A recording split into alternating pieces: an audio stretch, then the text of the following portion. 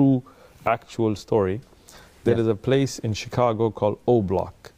And you can Google Uthman ibn Farooq O Block and you can see the video. And this is one of the most dangerous neighborhoods in all of America. And it's in South Chicago.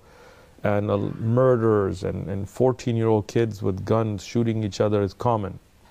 Yes. So I wanted to go there to give da'wah.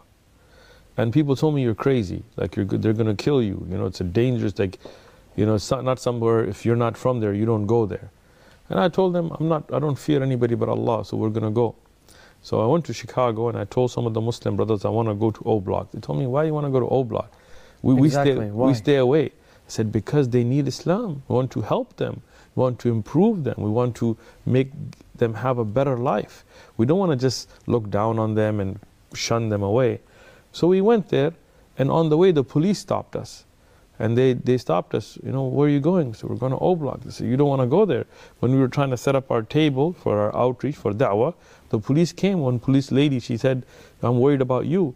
I told her, don't worry about me, I have Allah. Alhamdulillah, we started to give da'wah. In a couple of hours, in one day that we were there, just for a few hours, we had 20 people accept Islam. MashaAllah. Even a police officer became Muslim. And if you check the One Message Foundation, you'll see the videos. The police officer said, Who are you people that you're not scared to come here? So we're Muslim.